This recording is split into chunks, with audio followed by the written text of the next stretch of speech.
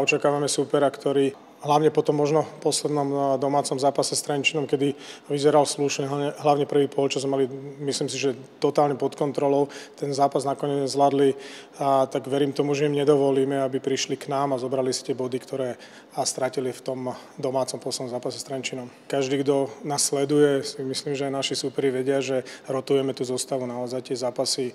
Hm, jednak sú aj náročné, vieme, že ten káder nemáme momentálne k dispozícii kompletný, pretože máme nejaké zranenia, takže určite znovu na tých 7-8 pozíciách sa objavia hráči, ktorí hrali menej, hlavne teda v tom poslednom pohárovom zápase. Ide aj o to, aby hráči podávali také výkony, ktoré budú aj v tej lige dominantné, nielen výsledkovo, ale naozaj aj herne. Nezakončujeme tie akcie, ktoré vyzerajú veľmi slubne.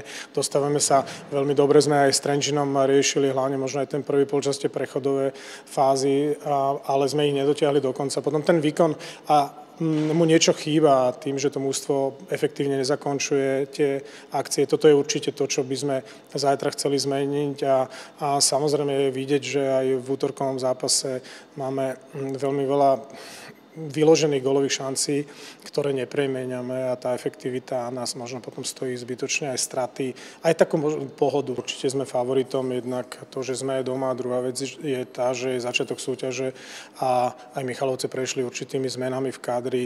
Je to mústvo, ktoré je veľmi zaujímavé, má, má veľa šikovných mladých hráčov, a, ktorí dostávajú šancu. Je tam Igor Žovčák, okolo ktorého je to mústvo postavené, obdivuhodné, že naozaj ešte stále na, je veľkým prínosom. Máme šancu a určite aj ambíciu sa bodovo dotiahnuť na Žilinu, ktorá je zatiaľ 100% nad, tam má samozrejme odohratý o jeden zápas viac, takže to je teda cieľ vyhrať? Jednoznačne prvotná povinnosť, ktorú máme, aby sme hrali futbal, ktorý nám, nás bude náplňať, ktorý nám bude robiť radosť a, a ponúkli zážitok v tom, že tá liga není len nejaká povinná jazda, ale aj v tom, že chceme odohrať dobré zápasy a v podstate sa v tých zápasoch zlepšovať mm, a samozrejme potvrdzať to aj výsledkami.